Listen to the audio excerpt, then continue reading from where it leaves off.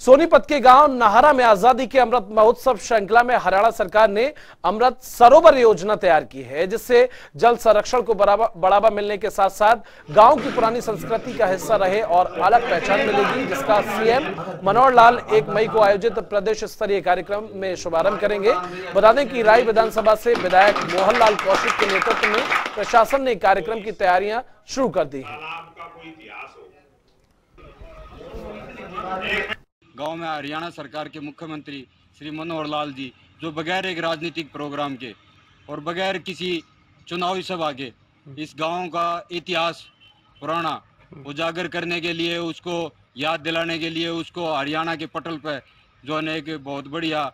स्थान देने के लिए और मान्यताओं को जन जन तक पहुँचाने के लिए हमारे गाँव में आ रहे हैं। इसके लिए मेरे गाँव में पूरे छत्तीस बिरादरी के लोग बड़े उत्साह से उनका स्वागत करेंगे।